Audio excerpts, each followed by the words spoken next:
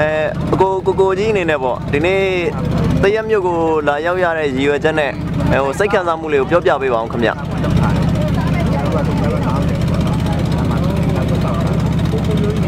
လွမ်းလို့လာတာလို့ပဲပြောရမှာပဲ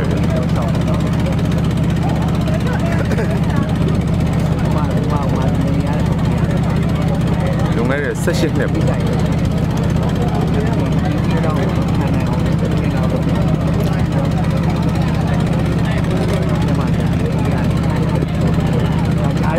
ွန်တော်တို့အယောက်20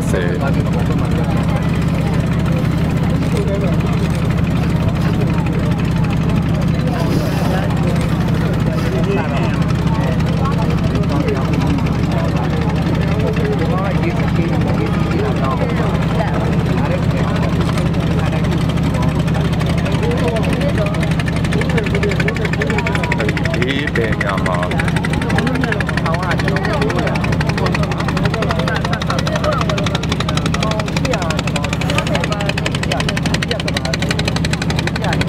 ဒုတ်ဒီပူဒီကင်ပြီးတော့ကျွန်တော်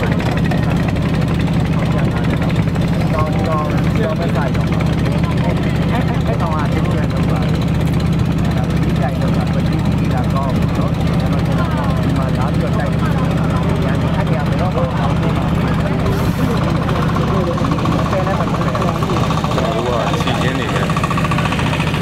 အထုပ်ဒီပူဒီပတ်ပြီးတယ်စူလိုက်ကျင်းလိုက်မောင်းလို က်ပေါ့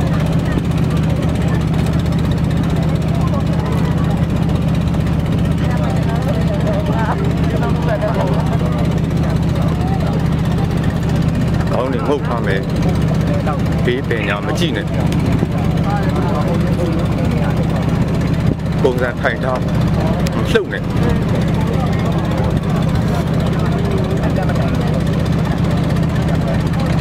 ဘေးပင်ညာကြည့်မိလို့ရှိရင်ဒါအပြစ်ပဲဆိုပြီးတော့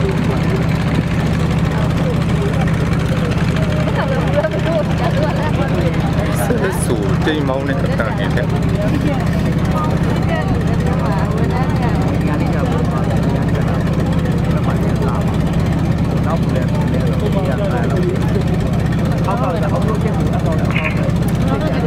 ကျွန်တော်တို့ချစ်တဲ့ဟောဒီ ဒီကြောင်ဒီမြစ်ကြီးကိုဖြတ်ခဲ့ရဘူးပဲ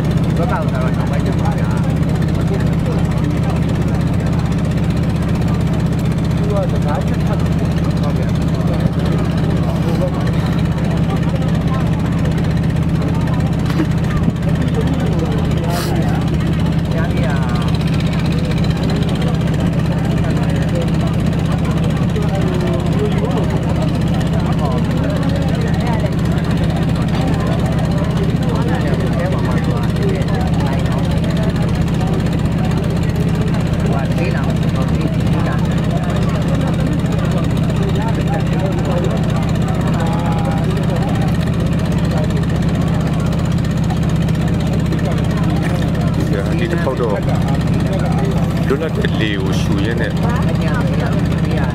ဒီမြစ်ကြီးကိုကျွန်တော်ထောက်ပြန်ပြီးဖြတ်ပြီးတယ်ကျွန်တော်ဒီတရက်မြို့လေးမှာ17နှစ်လောက်နေခဲ့ရဘူးတယ်အဲဒီ17နှစ်လောက်နေခဲ့ရပြီးတော့လူမသိသူမသိနဲ့ကျွန်တော်တိတ်တိတ်ကလေးပြန်သွားခဲ့ရဘူးတယ်အခုဒီတစ်ခေါက်ကျွန်တော်ကျွမ်းလို့ပြန်လာတော့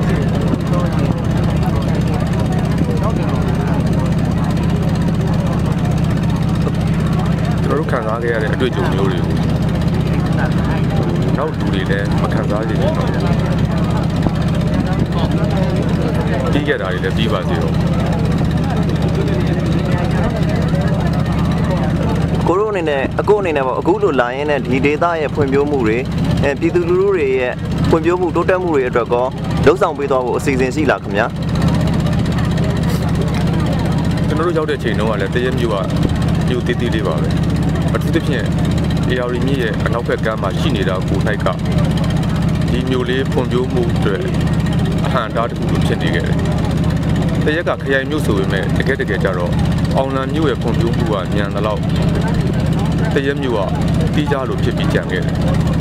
နောက်ပသိမ်မုံရွာလမ်းပေါက်လာတော့အရင်တုန်းကမင်းတုန်းကနေတဆင့်ထွထွက်ကုန်ဒေသထွက်ကုန်တွေတရက်ကတစ်ဆင့်ကူးတန်းနေရာကနေပြီးတော့ ဒီပသိမ်မုံရွာလမ်းကမင်းတုံးဘက်ကိုပေါက်သွားပြီးတဲ့အချိန်မှာလည်းတရက်ကအတီးကြားလို့ဖြစ်ကြတယ်ဆိုတော့တရက်မျိုးပုံပြိုးဖို့ဆိုလို့ရှိရင်ဒါကျွန်တော်တို့ဒီလမ်းပန်းဆက်သွယ်ရေးကောင်းဖို့တရက်မျိုးလေးကိုဒီအဓိကကြတဲ့လမ်းကြီးလမ်းကြောကြီးတွေနဲ့ချိတ်ဆက်ပေးနိုင်ဖို့အဲ့ဒါကအဓိကကြလိမ့်မယ်လို့ထင်ပါတယ်အဲ့တော့ဒီဒီဒေသမှာရှိတဲ့ပြည်သူတွေဖွံ့ဖြိုးဖို့ပြည်သူတွေ ပေါ့ဘဝရည်တည်ချက်တွေတိုးတက်ခိုင်မာစေဖို့အတွက်ကိုသက်ဆိုင်ရာအာဏာပိုင်တွေနဲ့ဟိုဒီဒေသမှာရှိတဲ့ပြည်သူတွေမြန်မာပြည်တွင်းကပြည်သူတွေကိုဟိုဘယ်လိုမျိုးတွေလှုပ်ဆောင်သွားဖို့အကြံပေးခြင်းလဲခင်ဗျအဓိကကတော့ကျွန်တော်တို့အနည်း20ကျော်ဖြတ်သန်းပြီးတဲ့နောက်ပိုင်းမှာဒါလွတ်တော်နိုင်ငံရေးဆိုတာပေါ်လာတယ်ပေါ့အဲ့တော့လွတ်တော်နိုင်ငံရေးမှာဒီဒေသကနေတက်လာတဲ့လွတ်တော်ကိုယ်စားလှယ်တွေကဒီဒေသကိုအမှန်တကယ်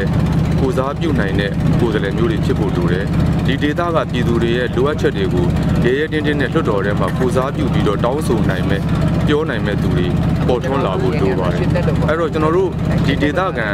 နိုင်ငံသားတွေမဲဆန္ဒရှင်တွေကလည်းပဲသူတို့ဒေသကိုတကယ်ဖွံ့ဖြိုးတိုးတက်အောင်လုပ်ပေးနိုင်မဲ့သူတွေကိုရဲရဲရင်ရင်ရွေးချယ်စေခြင်းနဲ့ကြောက်လို့ရွေးရတာမျိုးလက်တလောဒီတနတ်စားအကူအညီလေးတွေရတာလောက်ကို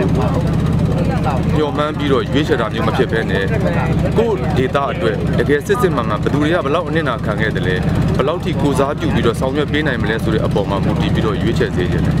နောက်တစ်ခုကတော့ဒီလွတ်တော်နိုင်ငံရေးကိုကြီးပဲအားပြုနေတာမျိုးမဟုတ်ဘဲနဲ့ဒေသခံပြည်သူတွေကိုနိုင်ကကိုယ့်လိုအပ်ချက်တွေကိုကိုအားလုံးပူးပေါင်းပြီးတော့ဆောင်ရွက်နိုင်တဲ့အခွင့်အလမ်းမျိုးတွေကိုလည်းရှာဖွေစေခြင်းတယ်ကျွန်တော်ပြောချင်တာကတော့အထူးသဖြင့် ARD မြစ်ဆုံဆယ်စီမံကိန်းရပ်တန့်သွားခဲ့တာဟာလွတ်တော်နိုင်ငံရေးကဆောင်ရွက်ခဲ့တာမဟုတ်ဘဲနဲ့တတိုင်းတစ်ပြည်လုံးကနေဝိုင်းပြီးတော့ပူးပေါင်းဆောင်ရွက်ခဲ့လို့အောင်မြင်ခဲ့တာဖြစ်တယ်အဲ့တော့ဒီဒေသဖွံ့ဖြိုးဖို့ဆိုလို့ရှိရင်လည်းဒေသခံ မဲဆန္ဒရှင်တွေနိုင်ငံသားတွေအားလုံးကကိုယ်တယောက်ချင်းစီမှာတာဝန်ရှိတယ်ဆိုတဲ့အသိနဲ့ဝိုင်းဝန်းပြီးကြိုးပမ်းကြဖို့လိုမယ်လို့မြင်ပါတယ်